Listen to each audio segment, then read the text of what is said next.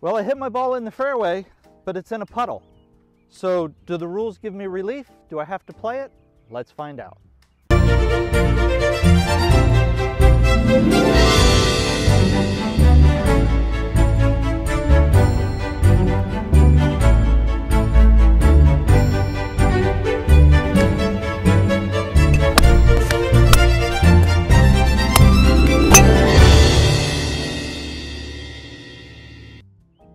Fairway and the water's not supposed to be here.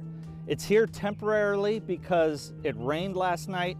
It's puddled up. This is a low spot. The water's probably going to be gone this afternoon, but how do I play it this morning? Let's look at the definition of temporary water to see if this situation applies. Temporary water is defined as any temporary accumulation of water on the surface of the ground such as puddles from rain or irrigation or an overflow of a body of water. That one is not in a penalty area, and two can be seen before or after the player takes a stance without pressing down excessively with his or her feet. It is not enough for the ground to be merely wet, muddy, or soft, or for the water to be momentarily visible as the player steps on the ground an accumulation of water must remain present either before or after the stance is taken. Some special cases, dew and frost are not temporary water. Snow and natural ice are either loose impediments or, when on the ground, they are temporary water at the player's option. And manufactured ice is an obstruction.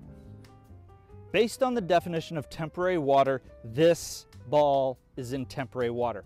So according to rule 16.1, I do get free relief from this abnormal course condition. Let's talk about where and how to take relief.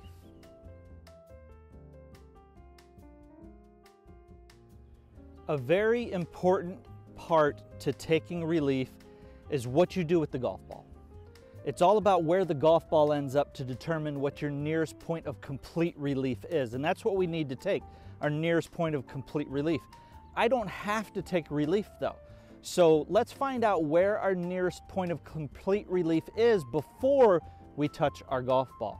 That should be the last thing we do touching our golf ball because once we pick it up, we have to take relief at that point. So let's find out where it is before we decide if that's what we want. So according to the rule, we said that it has to be the nearest point of complete relief. I can't jump up and down to try to make water come up out of the ground with my normal stance where water comes up. And I measure it by where that ball is going to be. So first I'm going to measure from this side. And I'm not getting any water come up at my feet, so I'm going to put a tee in the ground right here. Now I'm going to check behind, and I got water, water, water, water, water, water, water, Water still coming up. Okay, I'm about here. You can hardly see me. That's not closer, so I'm not even gonna put a tee down. Now I'm gonna check how close do I have to come this direction. I'm still getting water come up, and if I were to measure that spot there, I know for a fact that that is not gonna be any closer as well. So this is gonna be my nearest point of relief. That's my reference point, that nearest point. And I get one length from that point, no closer to the hole, on an arc back here so I can drop it anywhere in this arc point there. And now I can pick up my ball and take that relief. So now my ball is in play. I can pick up the tees. My ball is fully in play. No penalty. Play on.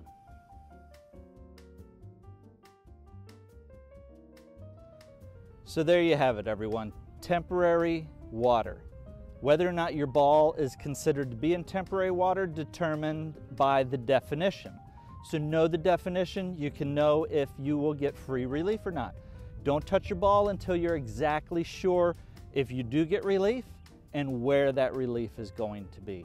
So I hope understanding this rule will help you out when you play right after the rain or in the rain and whether or not you can take free relief. Knowing the rules can sometimes pay big dividends.